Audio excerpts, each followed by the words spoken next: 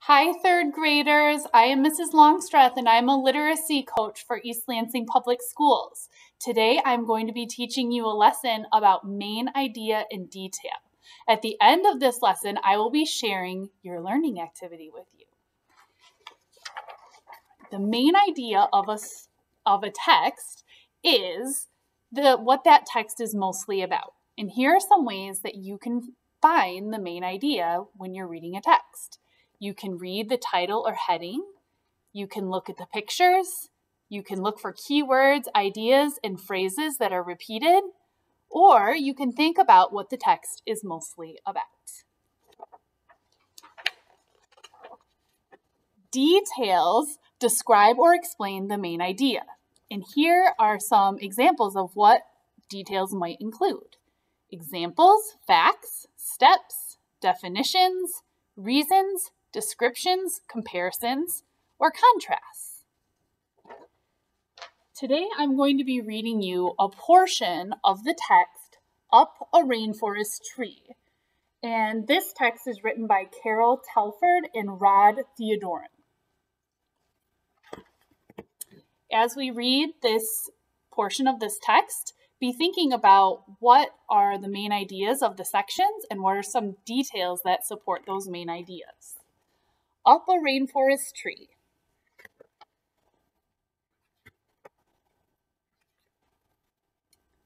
Introduction. You are about to go on an amazing journey. You are going to travel to one of the most special places in the world, the Amazon rainforest. This is home to one fifth of all species of plants and half of all species of birds in the world. You will cross the dark, gloomy floor of the forest and then travel up the mighty trunk of a rainforest tree. You will discover how each part of the tree is home to different kinds of plants and animals. Each animal has its own special way to move, feed, and breed in this amazing world of trees. Tropical rainforests grow in areas of the world that are hot and have lots of rain. The Amazon rainforest is the largest rainforest in the world. It covers an area about two thirds the size of the United States. It is also one of the wettest areas in the world. Two thirds of the Earth's fresh water can be found here. There are no seasons. It is always very hot and very wet. This caption for this picture says, Thousands of species of trees, plants, and animals live in this rich habitat, which is as hot and humid as a greenhouse. The caption for this map says The Amazon rainforest grows around the mighty Amazon River in South America. And you can see that the red part in the key is the Amazon rainforest, and the yellow part are other rainforests. Here's a journey map. So this is a diagram showing all of the levels of the rainforest. And we're going to be starting at the bottom here at the forest floor. And then it moves up to the understory, which it says is 30 feet. Then we have the canopy and the emergent layer. All right, the section I'm going to be reading first is on the forest floor. We are walking through the rainforest. The air is full of the call of birds and the buzz of insects. The air is humid, like in a hot, steamy shower. Even though it is daytime, it is quite dark. High above us, the thick canopy of leaves blocks out nearly all the sunlight. It is too dark for grass to grow. Instead, the ground under our feet is thick with twigs and dead leaves that have fallen from above. Many types of fungi grow here, helping to rot the leaf litter. The rotting leaves release nutrients, which trees and plants take up into their roots and help them grow. Fungi and rotting leaf litter provide food for thousands of tiny creatures like beetles, ants, and woodlice. The labels here indicate different animals and plants that live on the forest floor. Rhinoceros beetle, crab spider, millipede, fungi, seedling, centipede, leafcutter ants, army ants. Ant bird. This small forest bird has a special way of feeding. Army ants travel across the forest floor in columns, attacking insects and small animals. The ant bird flies just ahead of the column and snaps up insects as they try to escape the hungry ants. Six banded armadillo. The armadillo uses its strong claws to make a burrow to live in or to dig for tasty worms and insects. Although it is covered in strong bony plates, it can curl up in a ball if attacked. Rhinoceros beetle. These beetles are huge, as long as an adult's hand. Rhinoceros beetles are sometimes called Hercules beetles. The male uses his amazing horns to wrestle another male, trying to throw him over onto his back. So I'm going to let you see some of these diagrams. Here's an illustration of some of the plants and animals that live in the rainforest. Here's some of the close-ups of these. Here's the antbird, the six-banded armadillo, and that rhinoceros beetle. All right, so when we're thinking about main idea in detail, sometimes it can help to use something called a graphic organizer. And I just made mine myself on a blank piece of paper. Looks like this. So I made a larger spot at the top for the main idea, and then I made four other smaller boxes for the details. You can make something like this too, or you could just write out on a piece of paper what the main idea is and leave a spot, a space for four details. Okay.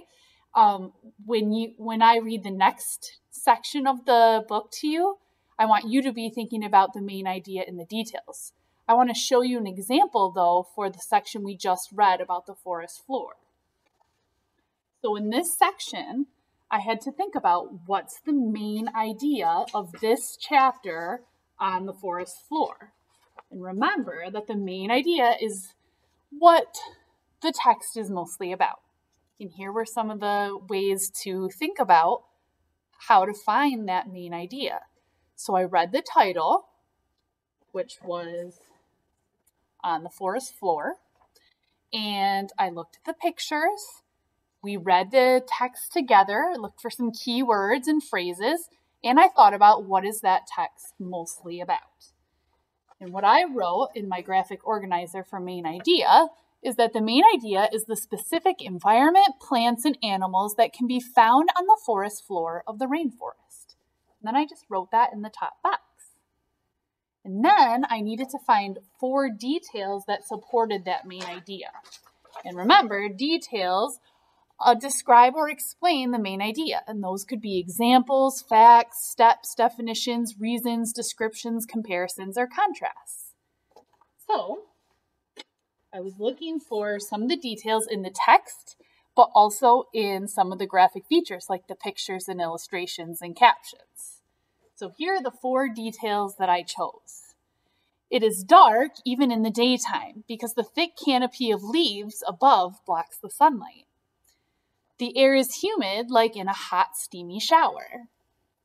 Rotting leaf litter gives off nutrients which trees and plants use to help them grow. Three animals that live on the forest floor are the antbird, the six banded armadillo, and the rhinoceros beetle. Now, there are many more details in that chapter than we included here, but today your, uh, your assignment or activity is just to find four details that support the main idea. And then you can write them in a graphic organizer that looks something like this, or just on a blank piece of paper and share them with your teacher. So for you to be able to do this, I'm going to read you the section on the understory, which is the next chapter in this book. And remember, at the end of this video, you're going to be sharing the main idea in four details with your teacher in the way that he or she asked you to. Okay, so here's the section on the understory and be listening for the main idea and some details that support it. Now we are climbing. The understory is the dark, gloomy area below the tree canopy. Because of the thick ceiling of trees, hardly any wind can blow down here. It is very still and humid. We are surrounded by ferns, palms, vines, and creepers dripping with moisture. They can live here because they do not need much light. Among the shadows and splashes of color, we spot lizards scurrying about searching for food. A spotted ocelot climbs slowly by a creeper, looking for roosting birds. Young saplings grow in the gloomy understory toward the light. Lianas. Lianas are climbing plants called vines that grow up other plants and trees. Many animals use these vines like ropes or bridges to travel around the forest. Tarantulas. These huge spiders can grow as much as 10 inches across. They use their huge poisonous fangs to catch other spiders, insects, frogs, and small lizards. Tarantulas are also called bird eating spiders, but they only hunt small roosting birds or chicks.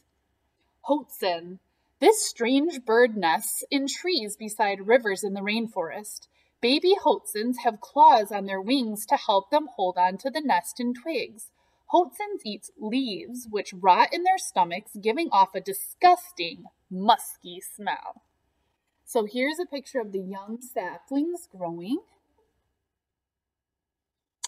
And here are a picture of the lianas, the climbing vines, the tarantula, and the Hoatzin bird.